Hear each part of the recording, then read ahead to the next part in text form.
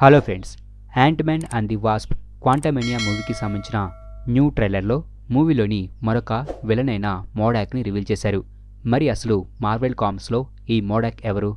అతని పవర్స్ ఏమిటి? లాంటి విషయాలను ఇవాళ ఈ వీడియోలో మీకు చెప్పబోతున్నాను. మోడాక్ క్యారెక్టర్ మొట్టమొదటిసారిగా Tales of Suspense issue number ninety four అనే కామిక్ బుక్లో కనిపిస్తుంది. ఈ క్యారెక్టర్ని స్టాన్లీ అండ్ జాక్ కర్బీలు క్రియేట్ చేశారు. మోడాక్ అసలు పేరు వచ్చేసి జార్జ్ టాల్టన్.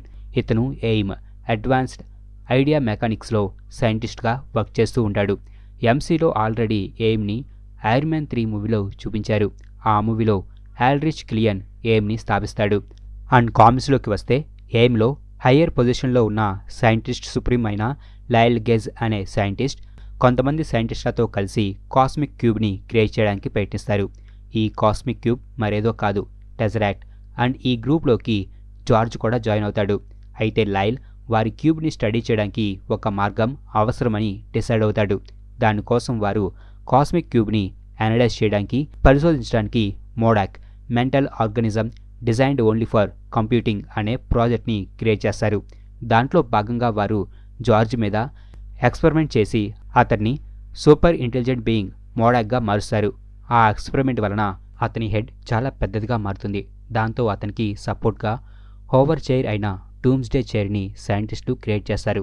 అయితే కొన్ని ఎక్స్పెరిమెంట్స్ తర్వాత మోడాక్ తన క్రియేటర్స్లని ఎయిమ్లోని సైంటిస్టులని చంపేసి మోడాక్గా ఉన్న తన నేమ్ని MODOK mental organism designed only for కిల్లింగ్గా change చేసుకుంటాడు. అలాగే ఎయిమ్ని తన చేతుల్లోకి తెచ్చుకొని చాలా ఇయర్స్ పాటు సూపర్ హీరోస్ మీద అటాక్ చేస్తూ ఉంటాడు. మోడాక్ కెప్టెన్ అమెరికాతో కూడా ఫైట్ చేస్తాడు. కెప్టెన్ అమెరికా కనిపించకుండా పోయిన షరంగ్ కట్టర్ని వెతుక్కుంటూ అండర్ వాటర్లో ఉన్న ఎయిమ్ యొక్క బేస్ దగ్గరకు సబ్మరైన్ ద్వారా వెళ్తాడు. అయితే అతన్ని ఎయిమ్కి చెందిన వారు బంధిస్తారు. అండ్ వారి నుంచి కెప్టెన్ అమెరికా అండ్ షారంగ్ కాటర్లు తప్పించుకుంటారు. కెప్టెన్ అమెరికా ఆ ప్లేస్ నుంచి తప్పించుకోవడానికి ప్లాన్ వేస్తాడు.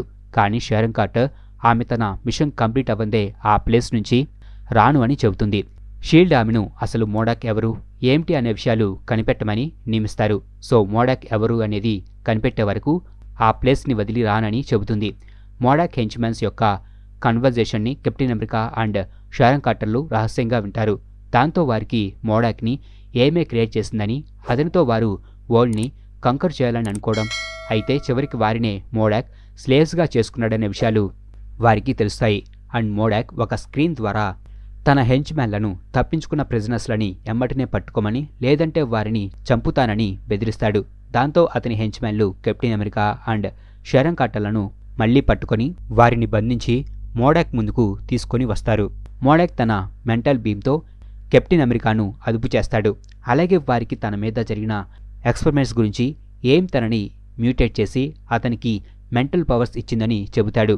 అండ్ కెప్టెన్ అమెరికా షరం కాటర్ల స్ట్రాంగ్ విల్ వలన మోడాక్ వారిని మైండ్ కంట్రోల్ చేయలేకపోతాడు. దాంతో వారి వలన అతనికి ఎలాంటి యూజ్ లేదని మోడాక్ వారిని చంపడానికి ప్రయత్నిస్తాడు. మోడాక్ తన యొక్క మైండ్ బోల్ట్స్తో కెప్టెన్ అమెరికా మీద అటాక్ చేస్తాడు అండ్ కెప్టెన్ అమెరికా కూడా మోడాక్తో ఫైట్ చేస్తాడు.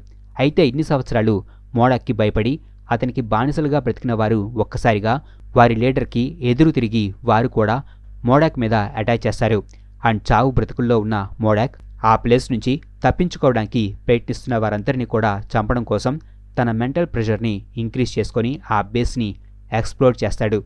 అయితే ఆ సమయానికే కొంతమంది ఎయిమ్కి చెందిన వారితో పాటు కెప్టెన్ అమెరికా అండ్ షరం కార్టర్లు తప్పించుకుంటారు. అండ్ ఆ బ్లాస్ట్లో మోడాక్ చనిపోయాడని చెప్పి అందరూ కూడా అనుకుంటారు. కానీ అతను ప్రాణాలతోనే ఉంటాడు. మెంటల్ ఫోర్స్ ఫీల్డ్ని తన చుట్టూ క్రియేట్ చేసుకుని ఆ ఎక్స్ప్లోజన్ నుంచి ప్రాణాలతో బయటపడతాడు. అలాగే తన టెలిపతి పవర్ ద్వారా తనకు లాయల్గా ఉన్న ఎయిమ్స్ సైంటిస్టులతో కాంటాక్ట్ చేస్తాడు అండ్ వారు అతన్ని వర్షం లోపల నుంచి బయటకు తీసుకొని వస్తారు. ఆ తర్వాత అతను చాలాసార్లు సూపర్ హీరోస్ మీద అటాచ్ చేస్తాడు ముఖ్యంగా కెప్టెన్ అమెరికా మీద. అండ్ చివరికి వరల్డ్ వార్ హల్క్స్ స్టోరీ లైన్లో మోడాక్తో పాటు కొంతమంది జీనియస్ క్రిమినల్స్ ఉన్న ఇంటెలిజెన్షియా మెంబర్స్ రేడియంట్ ఎనర్జీని ఒక సబ్జెక్ట్ నుంచి ఇంకో సబ్జెక్ట్కి ట్రాన్స్ఫర్ చేయగలిగే డివైస్ అయిన క్యాథెక్సిస్ రే జనరేటర్ని యూజ్ చేస్తారు. దాని వలన అమేడియస్ చావ్ కూడా ఎఫెక్ట్ అవుతాడు. చావ్స్ మైండ్ సర్టెన్ లెవెల్ వరకు ఎక్స్పాండ్ అవుతుంది. దాంతో అతనికి టెన్ ఫుట్ రేడియస్లో రియాలిటీని వ్యాప్ చేసే ఎబిలిటీ వస్తుంది. అతనికి వచ్చిన ఈ పవర్తో మోడాక్ని తిరిగి జార్జ్ టాల్టన్గా నార్మల్ హ్యూమన్గా మారుస్తాడు. ఆ తర్వాత యుఎస్ ఆర్మీ అతన్ని కస్టడీలోకి తీసుకుంటుంది. అయితే మోడాక్గా అతను చేసిన పనులు జార్జ్కి గుర్తుండవు. అలాగే మోడక్ యొక్క పవర్స్ గురించి చూస్తే మోడక్ చాలా తెలివైనవాడు. మోడక్ తన తలకి ఒక హెడ్ బ్యాండ్ని పెట్టుకుంటాడు.